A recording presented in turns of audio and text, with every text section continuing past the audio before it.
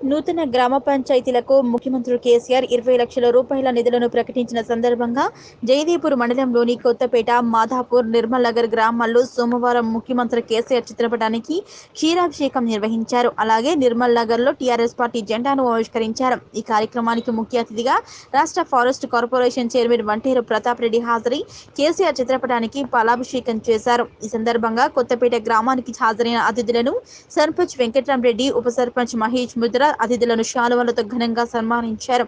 అనంతరం ప్రతాప్ రెడ్డి మీడియాతో మాట్లాడుతూ తెలంగాణ రాష్ట్ర ప్రభుత్వం ముఖ్యమంత్రి కేసీఆర్ గ్రామాల అభివృద్ధి కోసం అహానుషులు కృషి చేస్తున్నారని తెలిపారు.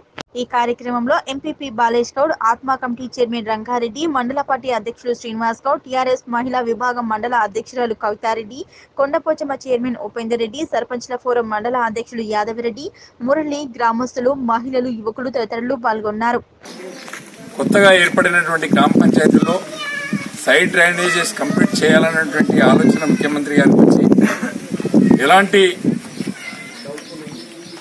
ఇబ్బందులు లేకుండా ఆ గ్రామంలో పారిశుద్ధ్యం పర్ఫెక్ట్గా ఉండడానికి గ్రామంలో ఉండే అన్ని విధులలో కూడా పూర్తి స్థాయిలో అండర్ డ్రైనేజ్ ఏర్పాటు చేసుకుంటే పూర్తిదైనటువంటి ఆలోచన రావడంతో ఇరవై లక్షల రూపాయలు ఇవ్వడం జరిగింది. నగరంలో అన్ని గ్రామాలు అభివృద్ధి చేసుకోవడానికి ఎప్పుడు ముందు వరుసలో ఉండి పెద్ద ఎత్తున ఈ కార్యక్రమాలు చేపడతా ఉన్నాం.